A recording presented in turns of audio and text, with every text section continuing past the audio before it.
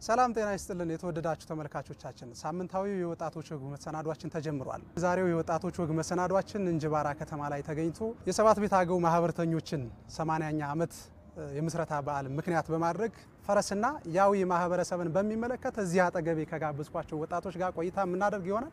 አብራችሁን ትሆኑ ዘንድ በአክብሮት እንጋብዛለን።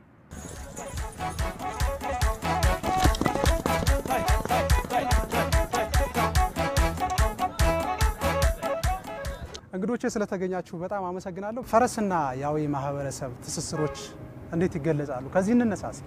እሺ እንግዲህ ያው ፈረስና የአዊ ማህበረሰብ ያላቸው ትስስር እጅግ በጣም በርካታ ነው። በየዕለቱ የሚያደርጋቸው ማህበራዊ፣ ኢኮኖሚያዊ እንዲሁም አልፎ አልፎ ማለት ነው even ፖለቲካዊ ክዋኔዎች ላይ ሁሉ ያለ ፈረስ አይሆንም። ኢኮኖሚያዊ፣ ባህላዊ ክዋኔዎች ሁሉ ያለ ፈረስ አይደምቁም። ከባህላዊ ክዋኔዎች ብንነሳ የአዊ ማህበረሰብ ሰርጉን የሚያጅበው ፈረስን በመጠቀም ነው። ሚዜዎች የሚሄዱት ፈረስ ጭነው ነው። ፈረስ 12 ሚዜ ቢሆን 12ቱም ፈረስ ጭነው ሙሽራዋን ያጅባሉ። ሙሽሪትም በዚያን ቀን የምትሄደው በፈረስ ወጣ ነው። በማንኛውም በምንም መመዘኛ ማለት ነው። ኢብን ሚዜዎቹ እንኳን በእግር የሚሄዱ ቢሆንም ቢሆኑ እንኳን ማለት ነው ሁለቱ ሙሽሮች የግዴታ በፈረስ ነው የሚሄዱት እና ፈረስ በጋብቻ ጊዜ ትልቅ የሆነ ቦታ አለው፣ ክብር አለው። ከዚህም ውጭ ሀዘን ስርዓቱንም የሚከውነው የአዊ ማህበረሰብ በፈረስ ነው። ታቦታት ሲነግሱም ያጅባል፣ የለቅሶ ያጅባል፣ ሰርግም ብሎታል። እንግዲህ ፈረስ ማይገባበት ቦታ የለም። ፈረስን በሁለት ከፍለን እናየዋለን። የእርሻ ፈረስና ሰንጋ ፈረስ ብለን። ሰንጋ ማለት ተችኖ ተጊቶ የሚወጣ ነው ለግልቢያ ብቻና ለጌጣጌጥ የሚጠቀሙበት። የእርሻ ማለት ደግሞ ለእርሻና ለእርሻ የሚጠቀሙበት ማለት ነው። እናርሰዋለን። ስናርስ የነበርነውን ፈረስ ደግሞ በሚቀጥለው ቀን ደግሞ ለጭነት፣ ለወፍጮ ቤት፣ ለገበያ የተለያዩ ቋጠሮችን በመጫን እንዲያደርስልን የምንጠቀምበት ነው። ጭራው ለምን ይውላል? አንደኛ አሁን አሁን እየቀረ መጣ እንጂ ኢብን ገመድ ራሱ ይፈተልበታል። ገመድ የጭራ ገመድ የሚባል አለ። የጭራ ገመድ ይፈተልና በተለይ አጠር ካለው የጋማ የሚባል ጭራ አለ። ሁለት አይነት ጭራ ነው ያለ። የጅና ጭራ የሚባል አለ። እሷን ተያዝፈው አሁን የጅና ጭራ የሚባለው ነው ረጅሙ።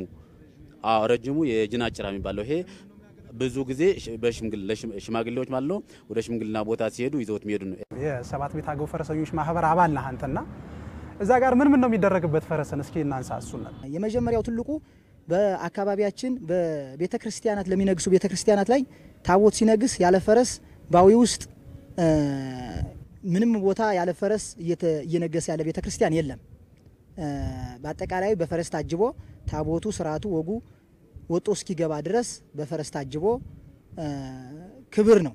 ይሄ የፈረሱ ክብር ትልቅ ሚናውን ይጫወታል። ሌላው በዚያ ውስጥ በቤተ ክርስቲያኑን ስርዓቱን ወጉን ከጨረሰ በኋላ የሽርጥ የጉግስ የስግሪያና ሌሎች የመሳሰሉትን የጭፈራ በፈረስ ሰፊውን የስፖርት እና የወንድማማቾችን ጨዋታ የሚገልጽ መልእክትም ያላቸው።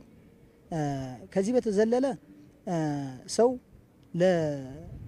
በአቋቋመው ማህበር በዚሁ በሰባት ቤት አገው ብሎ ማህበር ላይ ወደ ማህበሩ ወደ ፈረሱ ማህበር የተቀላቀለው የፈረስ አባል የሆነው ግለሰብ እስከ ህፃናት ልጆቹ ድረስ ወደ በሞት ደረጃ ድል ሲሆን በፈረስ ታጅቦ ነው ለቅሶ የሚከበርለት እና የሰንጋ ፈረስ ጥቅም በዚህ በሁለቱ ላይ በይበልጥ ጎልቶ ይታወቃል። ከጀግንነት መገለጫ መስፈርቶችም አንደኛው ፈረስ ነው።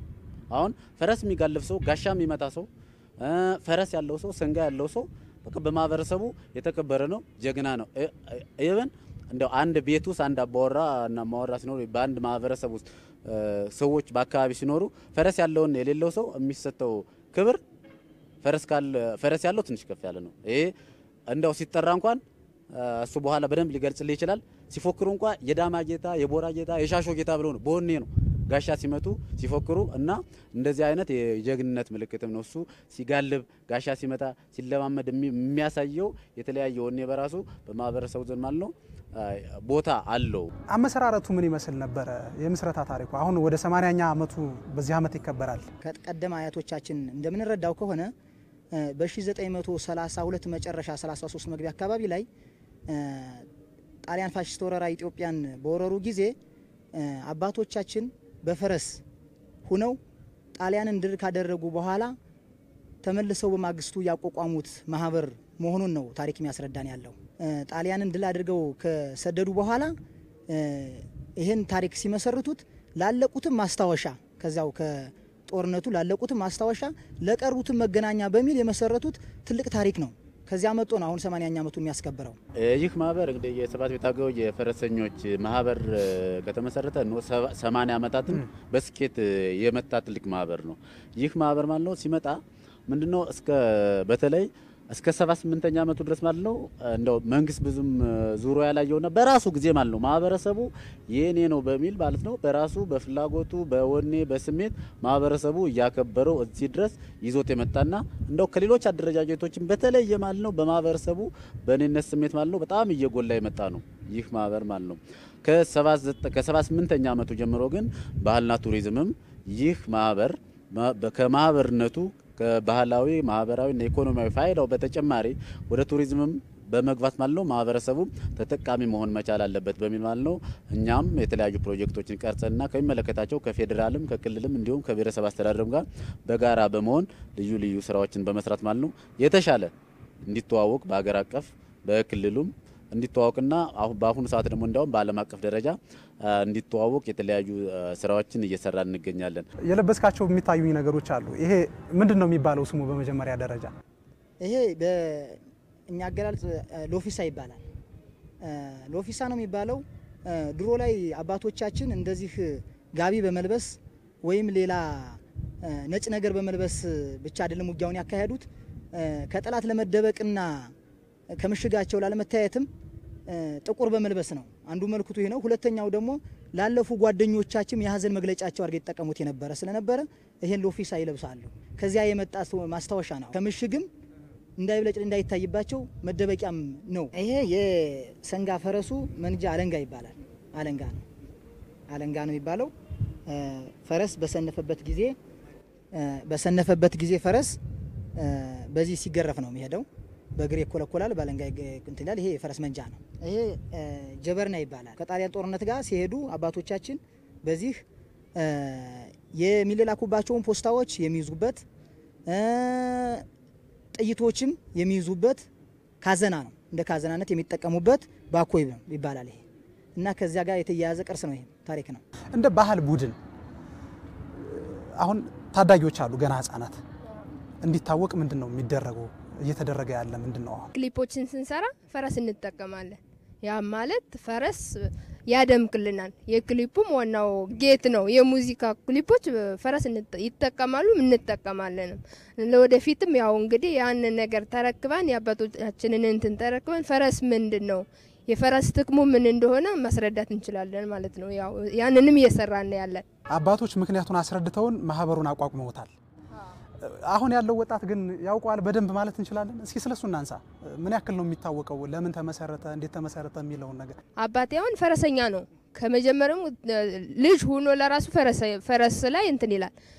ድሮ አህያ ላይ የገልብ ነበር ነው የሚል ያም ማለት አባቱ ፈረሰኛ ከሆነ ስለሱ ታሪክ ስለሚያውቅ ፈረስ ላይ መገለብ እንትን ስለሚል አህያው ላይ ገና እየገለብኩ ወድቄ ነበር ይላል። አሁን ልጆችም የእሱ ልጆች አለን ስለ ፈረሱ ምንነት እያወቅን ነው ከህፃንነት ጀምረን ስለ ፈረሱ ምንነት እናውቃለን። ማለት የፈረሰኞች ማህበር እንዴት እንትን አለ እንዴት ተጀመረ የሚለውን ያው እሱ ወንድማችን ቅድም ገልጾታል። ወጣቶችም ስለ እሱ ነገር አውቀዋል አውቀነዋል ማለት ነው። አብዛኛውን ወጣቱ ብዙም ግንዛቤ የለውም። ለበዓል ማድመቂያ ለዚህ ለዚህ ለዚህ ለአገልግሎቶች እንደሚውሉ ነው እንጂ ጥልቀት ያለው ግንዛቤ ያለው ማለት እና መውሰድ አንችልም። ግን አሁን በዘንድሮ ጥር 23 ስለሚከበረው በዓል ብዙ ወጣቶች እንዳዊ ብዙ ወጣቶች ግንዛቤ ፈጥረዋል። ግንዛቤ ማግኘት ችለዋል። ምክንያቱም አመጣጡን ሙሉ በሙሉ ማወቅ ባይችሉም እንዴት እንደሚከበር እንዴት መከበር እንዳለበት በአብዛኛውን አሁን ሙሉ በሙሉ አወቁ ባንልም እያወቁ ነው። ለውጥ አለ። ምክንያቱም ከትውልድ ትውልድ እያስተላለፉት የመጡት ስለሆነ የድሮ አባቶች ይህንኛ ወጣቶች ደግሞ ይዘን ለቀጣዩ ትውልድ ማስተላለፍ መቻል እንዳለብን ግንዛቤና እንትን መፍጠር እንዳለብን መውሰድ አለብኝ ነው የምለው እንደራሴ። ማህበሩ መቋቋሙ ታሪኩን ይዞት መጥቷል። ያ ታሪክ እንደተጠበቀ እንዲኖር ይሄ የማህበሩ ደግሞ ፋይዳ ይኖረዋል። ለምሳሌ ከአለባበስ ጋር በተያያዘ ጦርና ጋሻዎች ከምን ተነሳ የሚለውን ነገር ለመረዳት ይችል ዘንድ የማህበሩ ፋይዳ ምንድን ነው ሊሆን የሚችለው? እስኪ ስለዚህ እናንሳ። ራሱን የቻለ ትምህርት እናንትን አለው በአባቶቻችን የቆየ ከፈረስ ከመውጣቱ በፊት ቅድመ ዝግጅቶች አሉት። እነዚህንን ሁሉ የተገለሰሱ ነበረ። እንደ ምሳሌ ማንሳት ይቻላል። ከፈረስ ለመሰቀል በቀኝ ብቻ ነው የሚሉት በአባቶቻችን የቆየ በቀኝ ብቻ ነው የሚሰቀሉት። ነገር ግን አሁን ላይ በግራ ሁሉ የሚሰቀሉ ልጆች ነበር። ይሄን እንደ ነውርና በጣም ነውር መሆኑን አባቶች እያስተማሩ ይሄ ይሄ የአሁን ልጆች እየተማሩ ይሄ ራሱን እንዳይጥል ስርዓቱ እንዳይበላሽ በማስተማር ላይ ነው ያሉት። በቀኝ ብቻ ነው የሚወጣው እንጂ በግራ በኩል ፈረስ አይወጣም የሚል ሀሳብ ስላነሳ ነው። ምክንያቱ ይታወቃል። ምናልባት በቀኝ ብቻ ነው የሚባልበት ይሄም ከኋላ የሆነ ምክንያት ይኖረዋል። መቼም እንደዚያ ያሉ ከኋላ የሆነ ምክንያት አለው።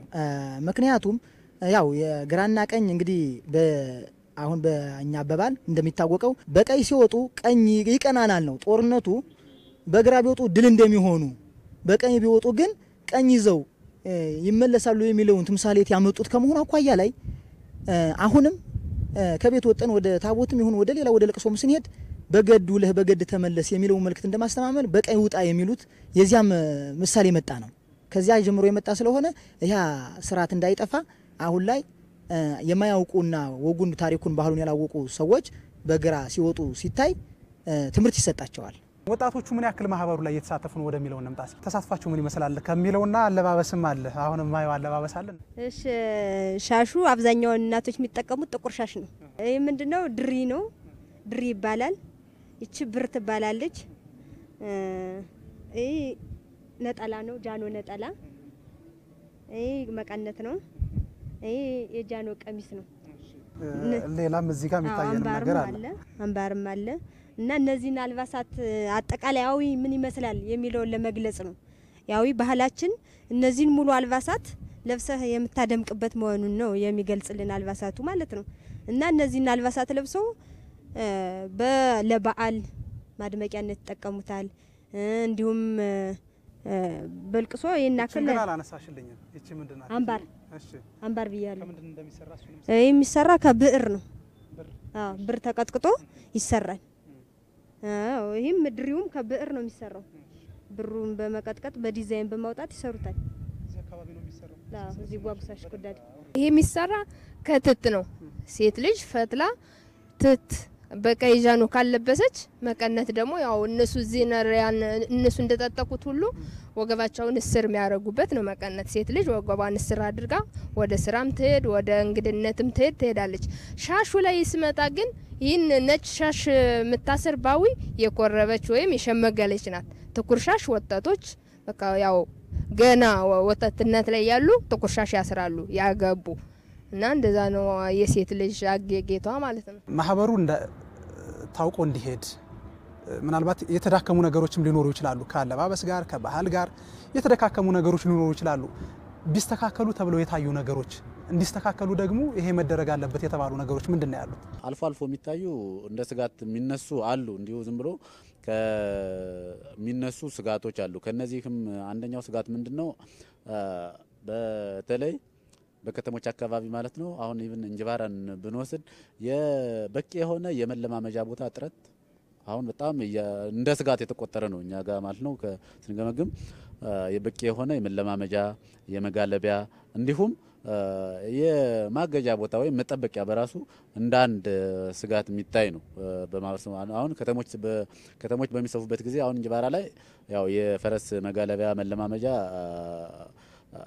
እየተዘጋጀ ነው። ግን ይህ ደግሞ ከእንጅባራ ውጭ ባሉት ሌሎች በተመረጡ ማለት ነው ደጋማ ከተሞች ላይም ሆነ ሌሎች ቀበሌዎች ላይም እንዲደረጅ ይህንን ያው እንሰራለን። እኛም አሁን እንጅባራ ላይ already እየሰራን ነው የምንገኘው።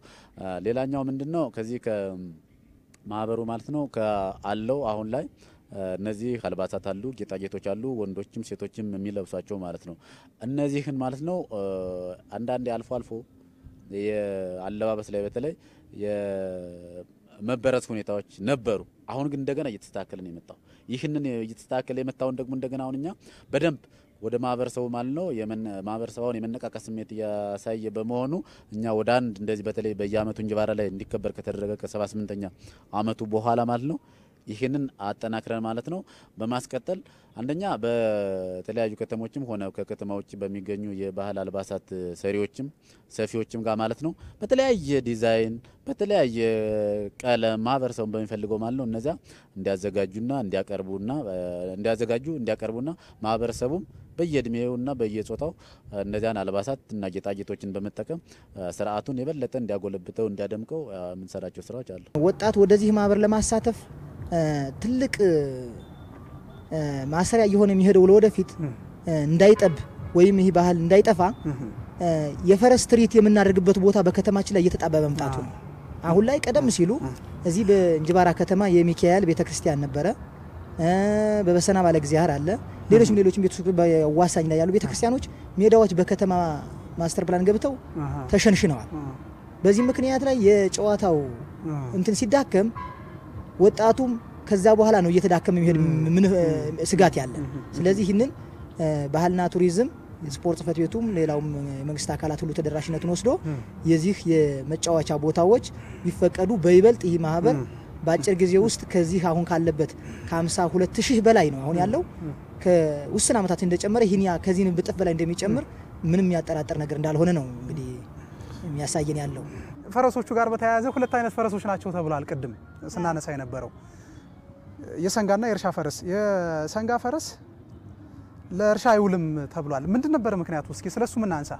እንክብካቤውንም በሚመለከት እናንሳ። የጭነት ፈረሱን ታርሰዋለህ ከላሚቱም ጋር ከበሬውም ጋር ከራሷ ከአንዱ ፈረስ ጋርም ታርሰዋለህ። ጽዳት አታደርግለትም ነው ጽዳት አታደርግለትም። ምክንያቱም አንደኛ የሰንጋ ፈረሱ እንክብካቤ ይደረግለታል። ዝም ብሎ ሲበላ ነው የሚውል። ገብሱን ድርቆሹን ሲበላ ነው የሚውለው። ጽዳትም ይደረግለታል። በየቀኑም ሆነ በየሳምንቱ ይታጠባል። ከታጠበ በኋላ ደግሞ ሙሉ አልባሳት ለብሶ ነው ከሰው ጋር የሚውለው ከሌላው ፈረስ ጋር ማለት ነው። የሆነበት ዋነኛው ምክንያት ምንድን ነው? ክብር ነው። ክብር አለው ለፈረሱ ምንድን ነው? ትልቅ ክብር አለው። የእርሻ ፈረሱና የሰንጋ ፈረሱ የተለያዩ ናቸው። ከዚህ አንጻር ነው የተለዩ ናቸው ብለን መግለጫ የሰጠ ነው ማለት ነው። እሺ፣ እሺ፣ እሺ፣ ልትጨምረው የምትፈልገው ሀሳብ ይኖራታል? እሺ፣ ያው ፈረስን ወደ ሁለት ከፍለን አይተናል ስናይ አሁን ከሰው እንኳን ብንጀምር መልከኛ ይወለዳል፣ መልክ የሌለው ይወለዳል። እንደዛ ነው ፈረስ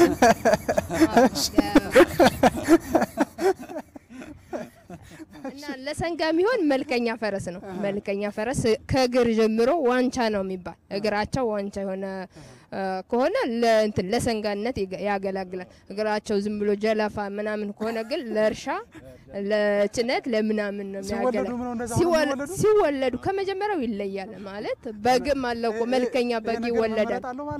አዎ በምርቻ ነው ማለት። ደህና አስተዳደጉ ምርት ከሆነ ይህ ፈረስ ለምን ይሆናል?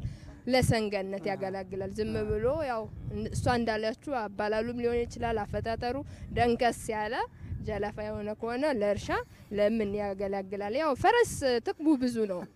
ጥቅሙ ብዙ ቢሆን ሁለት ነገሮችን አይሰጥም። ማለትም ወተትና ስጋ ከፈረስ አናገኝም። ሌላው ግን ጥቅማቸው ብዙ ነው። እግሩ ቆብ ያለ መሆን አለበት። ሲረግጥ ራሱ ኮቴ ያለው ይሰጥሃል። ድምጽ እየሰጠህ ነው የሚሄድ እንደዚህ ከዞር የለም ድምጽም የለ። እዚህ ራሱን የቻለ ቃና አለው፣ የድምጽ ቃናም አለው።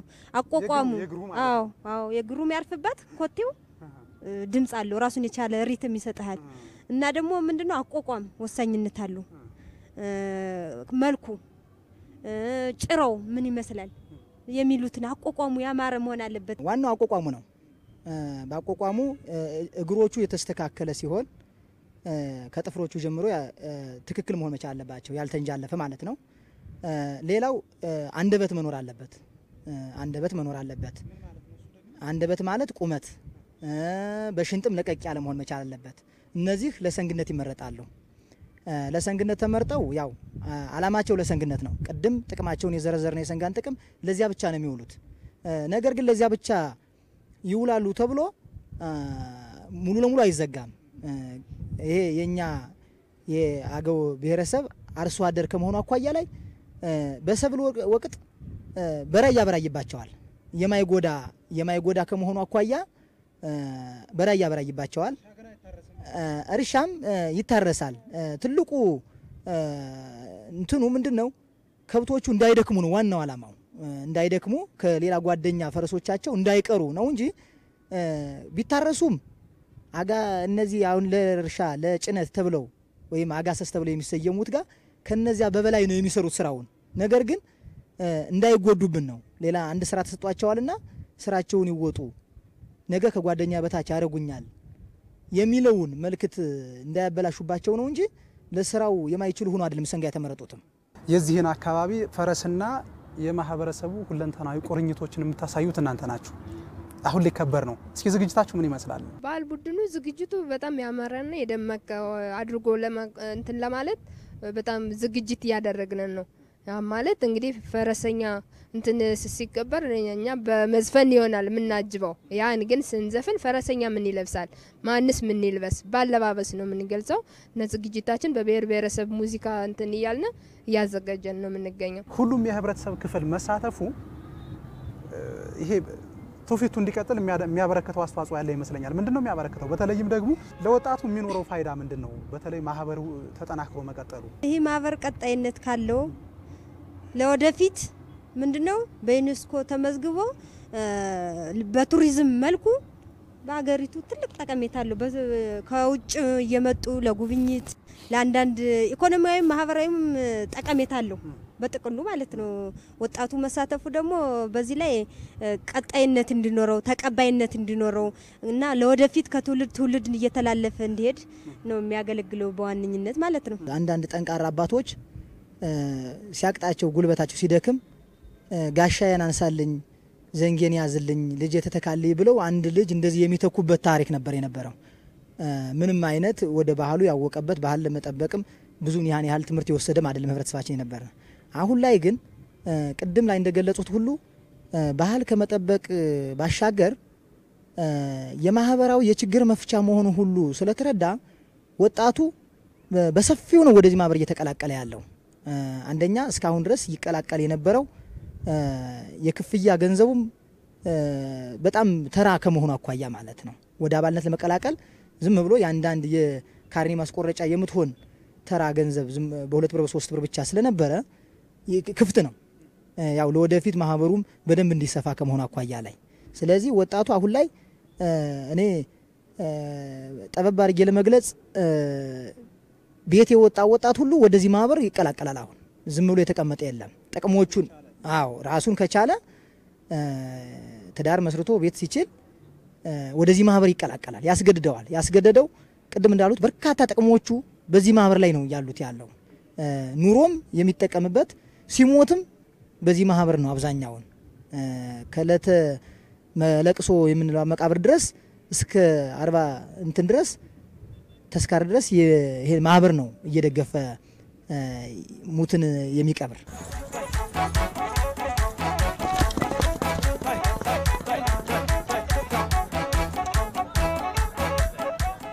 ፈረስና ያዊ ማህበረሰብ ሁለንተናዊ ትስስሮችን በሚመለከት ለዛሬ ወደ እናንተ ያደረስንላችሁ የወጣቶች ወግ መሰናዷችን ይህን ይመስል ነበር። አብራችሁን ስለነበራችሁ ከልብ እናመሰግናለን። ሳምንት በሌላ ፕሮግራም እስከምንገናኝ ድረስ መልካም ሳምንት። ስለነበረን ቆይታ በጣም እናመሰግናለን። ጊዜያችንን ሰውተን ነው የተገናኘ ነውና እግዚአብሔር ይስጥልኝ። አመሰግናለሁ። እናመሰግናለን።